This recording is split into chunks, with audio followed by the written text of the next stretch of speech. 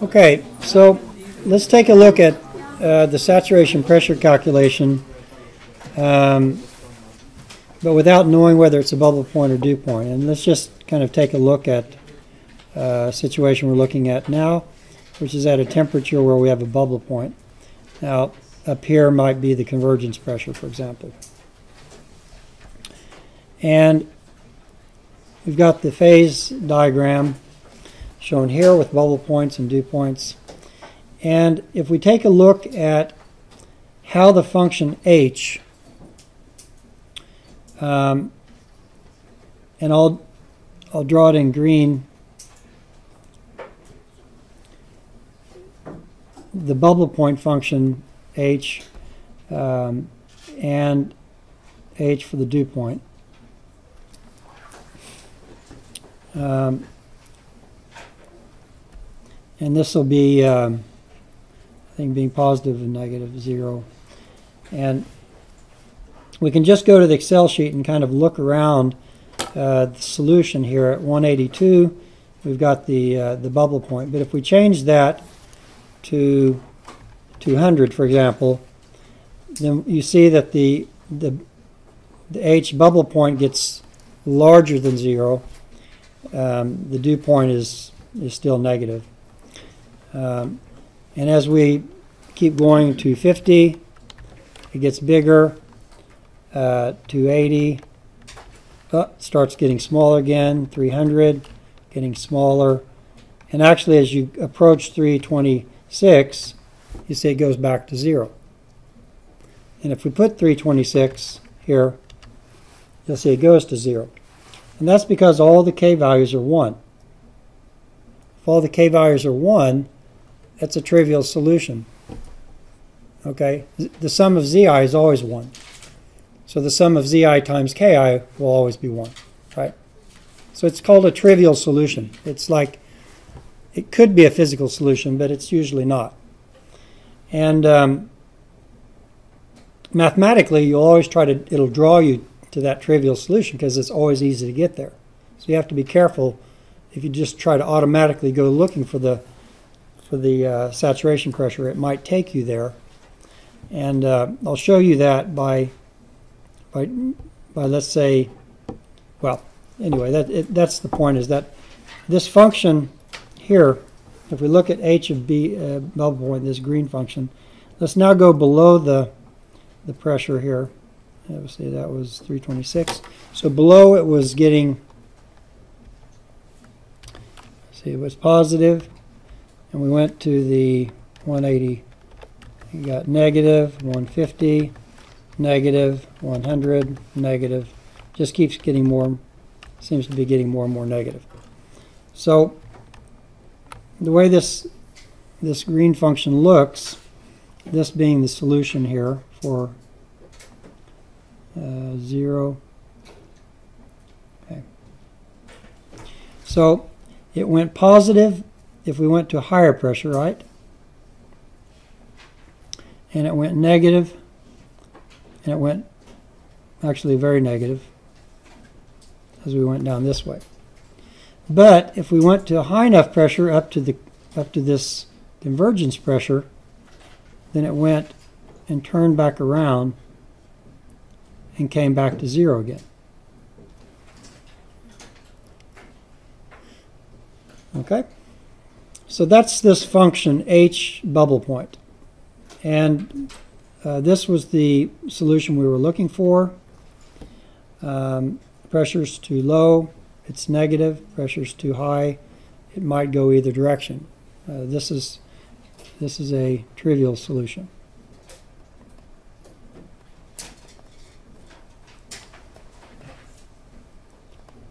At the pressure bubble point equal to convergence pressure. That will always satisfy that equation.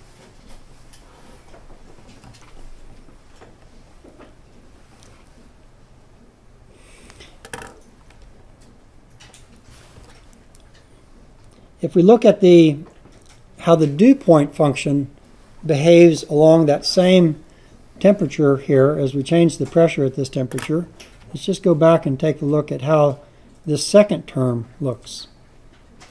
Okay, so we can start up around the convergence pressure, 3, 320. Well, as close to zero as it should be. Because at 326, it will also be zero. Okay? So the, the starting point for the function here is the same. But as we go down in pressure, it gets negative, more negative, more negative, more negative. Oops. Hmm. That's odd. Uh, something in the equation is oh, it's the uh, it's the fact that um, the uh, I think this I think this A1 is subtracting off one this here. So what this um, to, to make to allow this to go to very low pressures um, um, I'm gonna well I don't know if we're recording or not.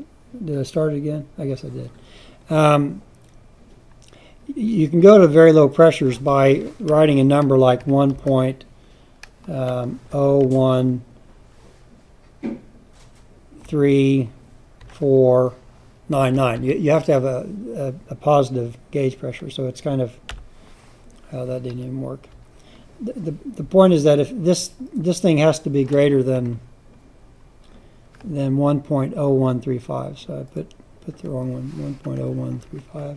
This has to be greater than that, so it should be like that.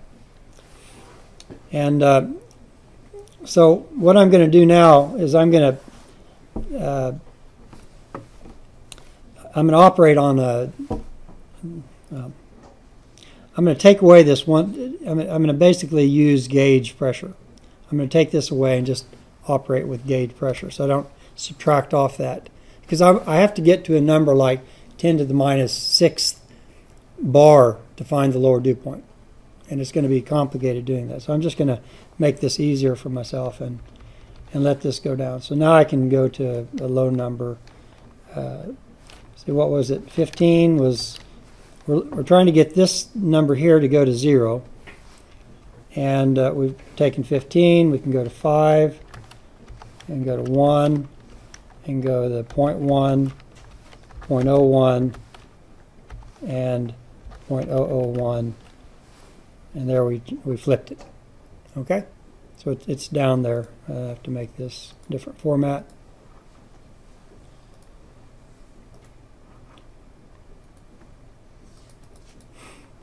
Okay? And uh, I'll give this the same format here. So the point is that this um, at some very low pressure, it, it went back from being negative to now being positive. So somewhere at a very low pressure, it will drive this to zero and you get a dew point. So the function looks something like this, um, this dew point function along here. It basically becomes very negative And then finally, it will turn back around at very, very low pressures and go like that. Okay.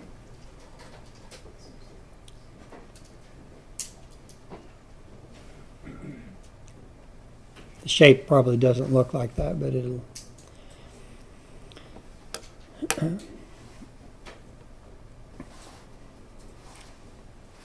okay. So that's that's for this temperature here. That's how those curves look.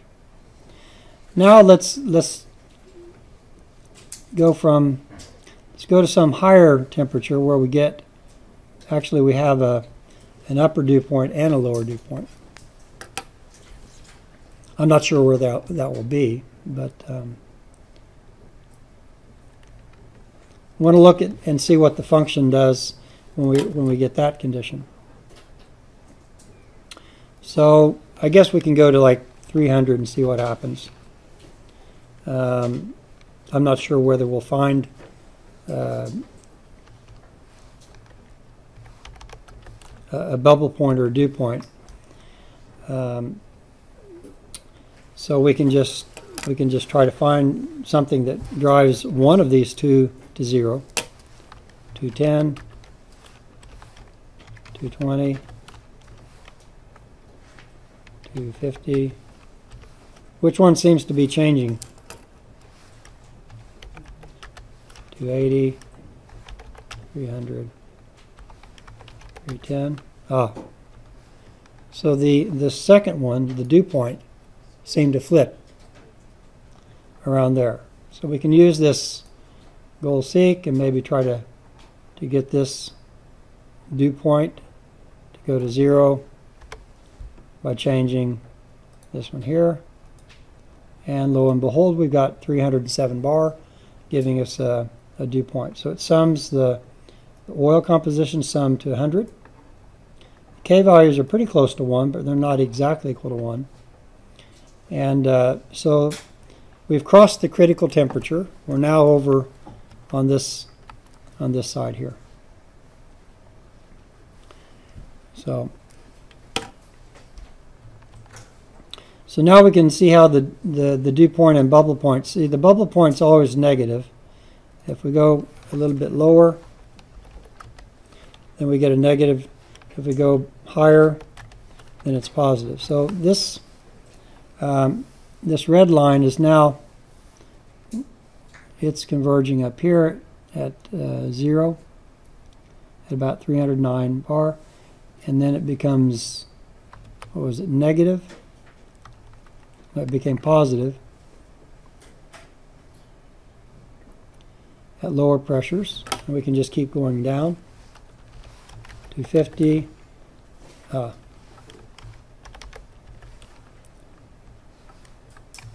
I, I think I'd 290.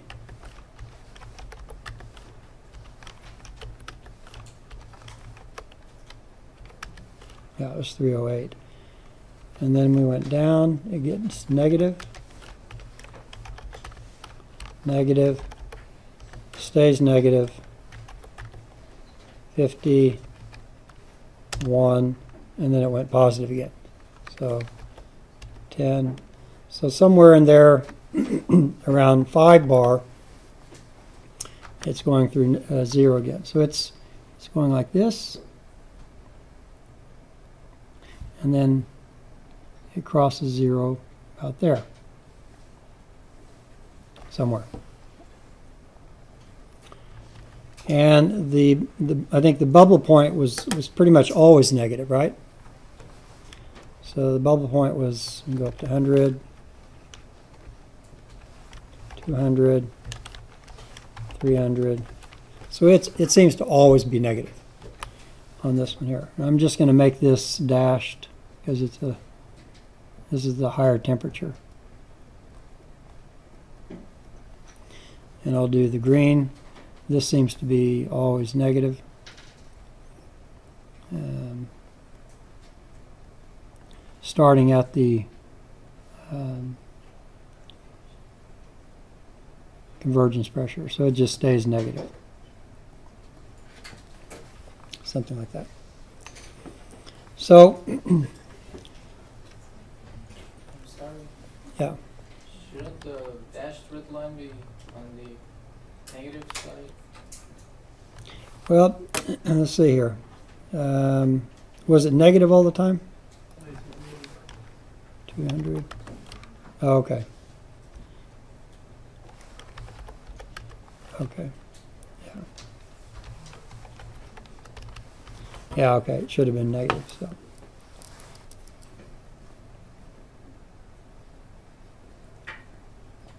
So it had the same kind of shape. So it, it, um,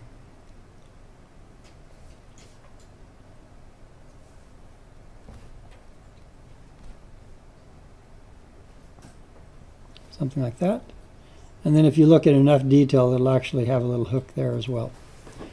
um, being positive between the 309 dew point and the convergence pressure. So it, it looks kind of uh, it looks kind of messy. You don't know when to use when which equation to to solve.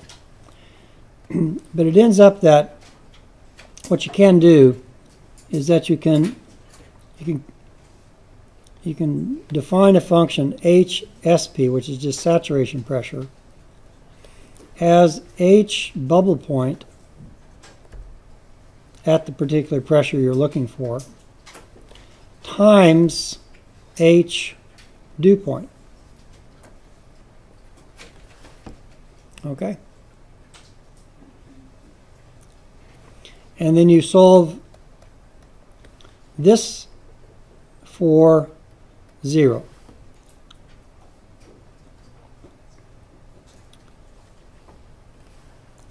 And then, so once found,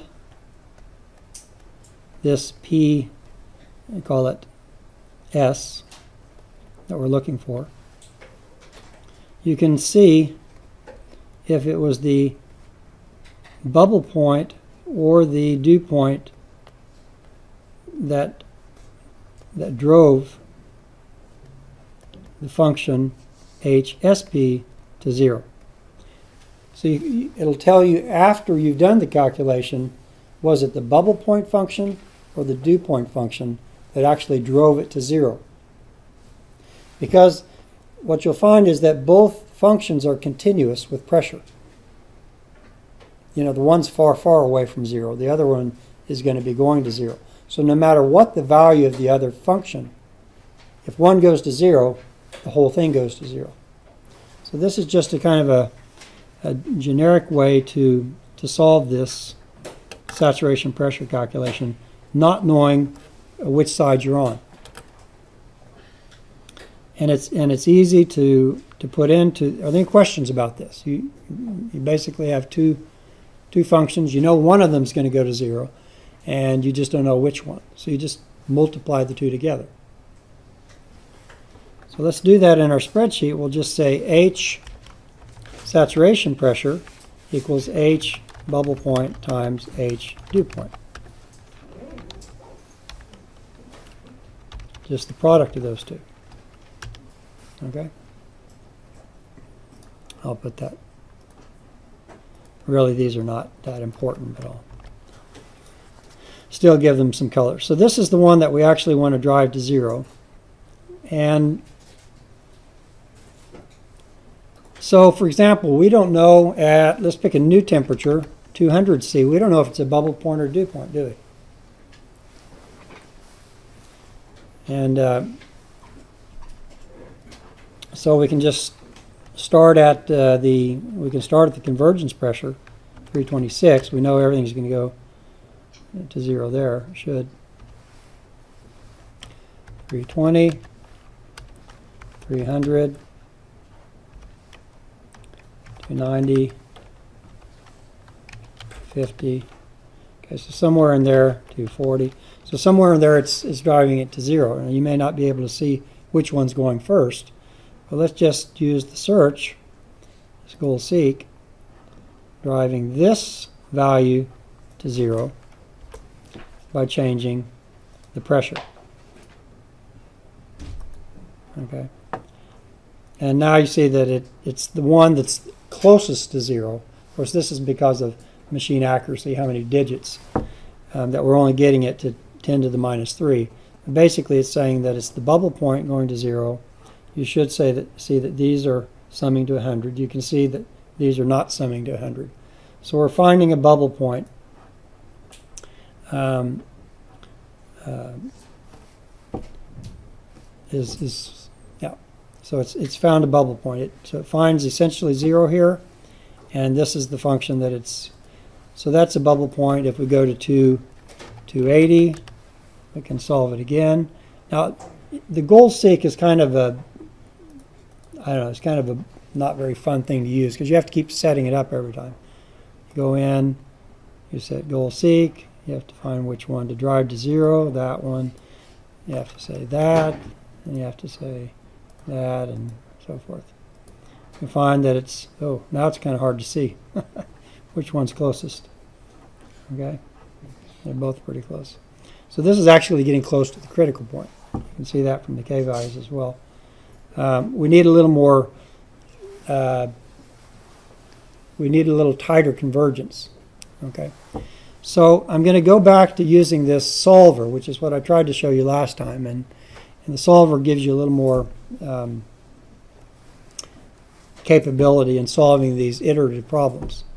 So the way the solver works um, is that you have to say that you want to uh, minimize or drive a value to, in this case, zero. Now it, will- it will remember this. Um, and you tell it by changing what, and it'll remember that. We're going to change the pressure. And we're going to try to, that's the cell we want to drive to zero.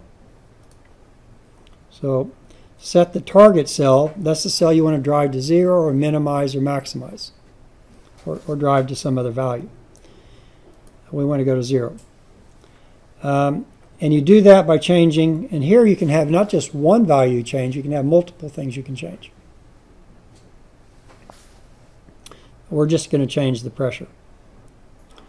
And then you have some other things you can change, and then you can also constrain. Um, the, in other words, you don't let it change the pressure beyond the pressure is higher than the convergence pressure, for example, because that would be a, an invalid solution. So I can say that as a constraint, I want to add the constraint that that this pressure be less than or equal to the convergence pressure. So it'll never go higher than that. Okay. And if I only want the upper saturation pressures, I can say I, I never want the pressure to go lower than, I don't know, 20 bar or something. If, if I wanted to, I I'm not sure I'm going to do that, but I could add another constraint that this pressure can't, it has to be greater than or equal to, you know, 20 bar. So I won't pick up that lower saturation pressure. So you can put in as many of these constraints as you like on, on how you change the variables. So now we can solve this, and it went to 318. Um, and though they're they're both, you see now they're you're basically at a critical point. You've got all the k values very very close to, to one. Um, so the critical temperature of this system is around 280. Uh, we can go back down to our reservoir temperature, which was what? Um, 70 something? Around 70. So we can uh, solve again. Now we just go back into solver and you see that it remembers what the target cell was. It remembers what you're trying to change and it remembers the constraints. You don't have to reset the problem every time. Now we solve it again. Found a solution. And you can see that um,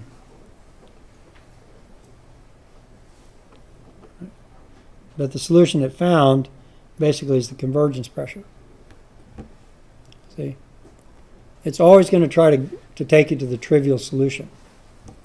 So to, to make it not pick that, you're going to have to pick a, a, a starting pressure that's maybe lower. Okay? You're going to have to work your way up. Now, whether it, it makes it there or not. So we're starting we're starting at 200 now. and on this function here, we're kind of starting with this value and this value, and we're trying to get here.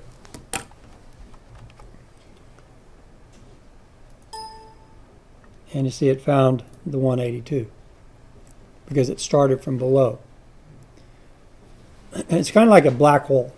You know, the convergence pressure is like a black hole. If it can take you there, it will, because it's it's like the easiest. So you have to start far enough away from it in order to find the convergence to, in this case, the solution we really want. so it found the, the 182. Um, we can change it back to the 300C we had. Again, because the solver remembers all the settings. It finds the 307. It shows you that it's the dew point. It's driving to zero.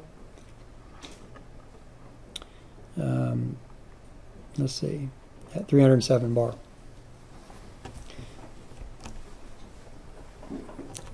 Okay, so this is this is the kind of solution that you'll want to use in, in solving this exercise, where you're gonna you're gonna map the saturation pressure table.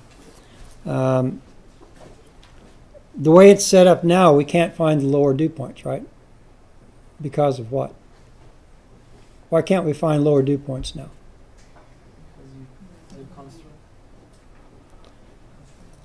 Yeah, when I went up to the solver here, I put this constraint that the pressure we're looking for can't be less than 20 bar.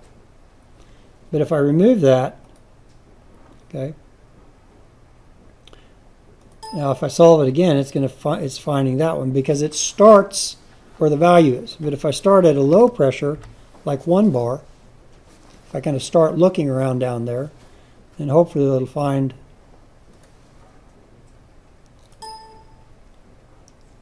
the 5.3 bar. Right? Driving a dew point. We go to the back to the 70 degree C. Try to find the dew, the lower dew point there. Solver, everything's remembered, everything's set up. Um, it found the upper saturation pressure.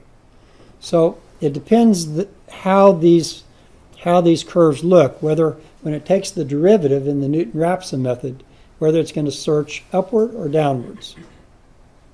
Okay? So in order to get the lower dew point, you may have to start at a at a very low pressure, 1, 10 to the minus 10, for example.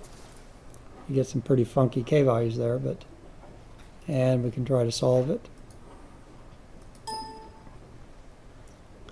And it found it. We just don't have enough digits here. Remember, it was around 0.001. Found a dew point here.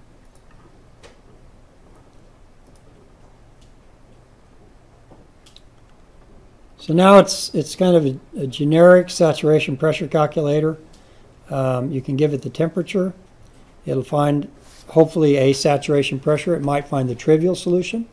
It might find the upper and it might find the lower. So you might have to handhold it a little bit to get where you want to go.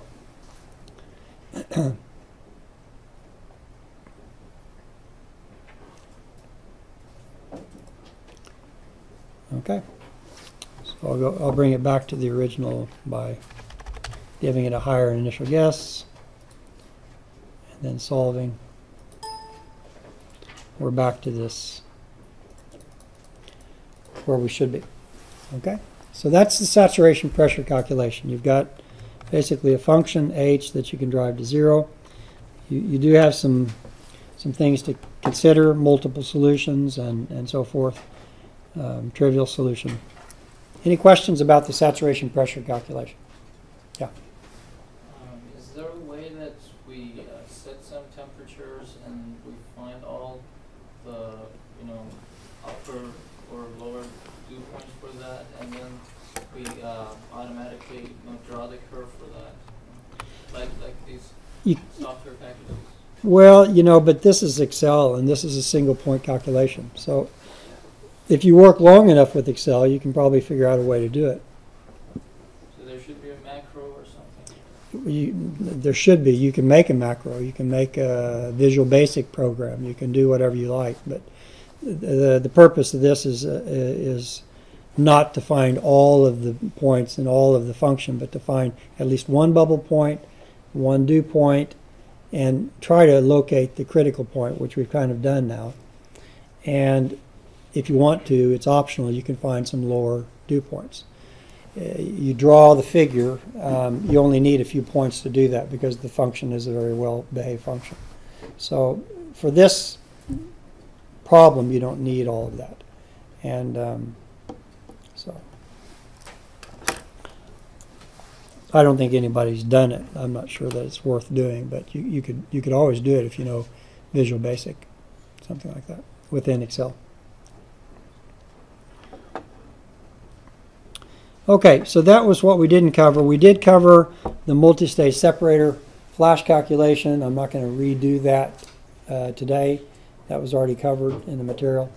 So um, what what will have to be done, of course, I don't have to do the exercise, so I'm not going to do it, is that what would be natural to do is to take and link, uh, you know, these properties here back to this setup sheet and, and make use of a consistent.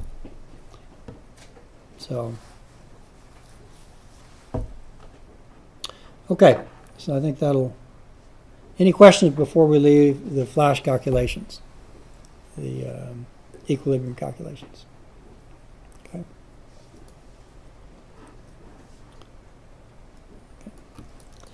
So then what we'll do is that we'll continue on with talking about the black oil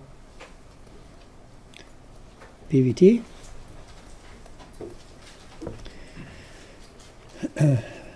Formulation, this is, um, we, we did talk quite a bit about it on, Fri- on Friday. Um, this is in chapter seven. And I'll just give you a short review of what we talked about on Friday before we bring some new things in in the last hour. Um, we have four four properties. Um, we have for the start for the we have for the gas phase. We have little rs and BGD, which discussed before the difference between BG and B, BGD. Um, this is the solution oil gas ratio. And it represents, for practical purposes, the molar composition of the gas phase, Yi. And in some ways, you can say that the BG, the gas formation volume factor, represents a form of the gas density, if you will. It's exactly that, but similar to that. They're definitely related.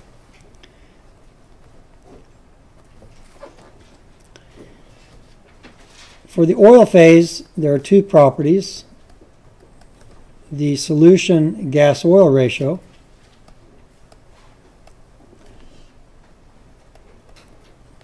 And this is basically representing the composition of the oil. We even talked about how to transform it from uh, GOR to molar composition. And this is the very important oil formation volume factor.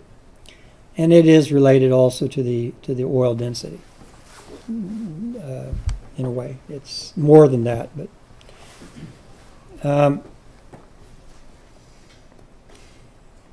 The BG represents how the gas expands as it comes to the surface. The BO represents how the oil shrinks as it goes to the surface. So it's basically uh, related to a kind of a shrinkage.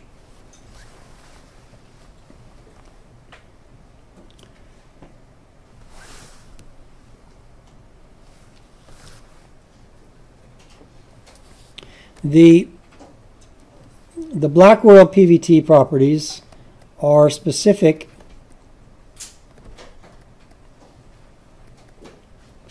to a particular surface process.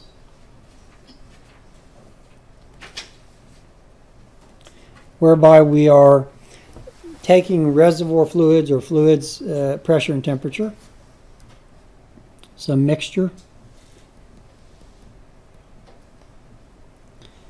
um, at some pressure and temperature, some phase.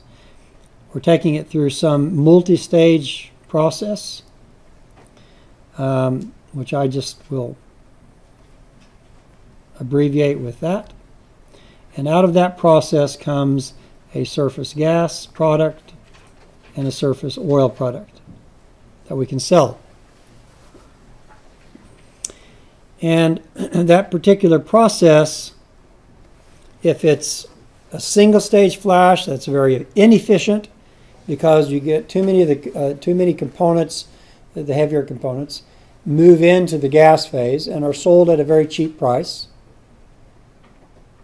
Okay, but if you design the the number of stages and the pressures and temperatures, then you can extract to a maximum the components that form and remain in the liquid, where we can get the highest price. Okay? So, and depending on this process that you use, you will get different values for these four black oil PVT properties. So these depend in some cases strongly. So there may be a strong dependence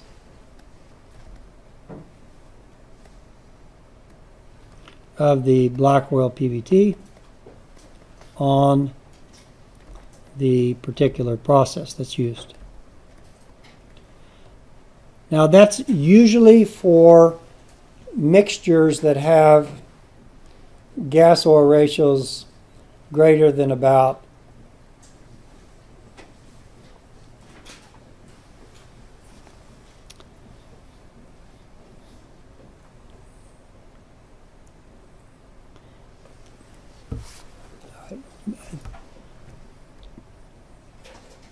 if if the if the GOR of the mixture is greater than about 200 standard cubic meters per standard cubic meter. Okay? If I'm going to pick a number where it, where it has a significant effect. Where it has no effect would be less than 100. Almost no effect. Okay?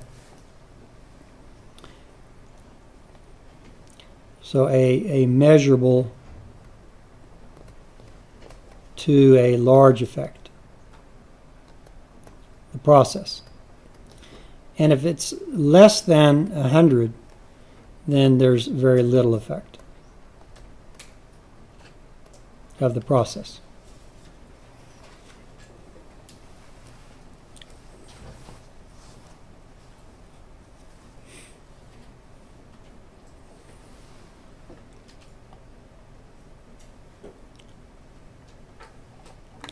So just remember that in terms of processes, a single stage flash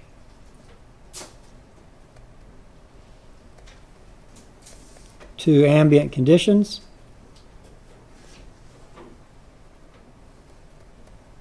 low pressure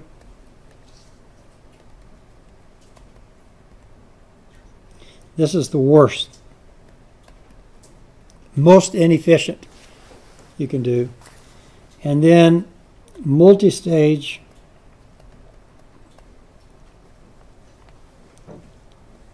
flashes. And the pressures and temperatures can change. You can add coolers to condense out liquids from the gases and bring it back in. There's plus what's called gas processing is giving you the best recovery of all our components I in the surface oil phase. So you're getting the highest efficiency recovery of as many components as you can into the surface oil. The problem, of course, here is that this costs a lot more money than just letting the stuff flow to the surface. So there's the balance between making more money by re recovering more of the components as liquid versus the cost it takes to get those components as liquids, as part of the liquid. Okay?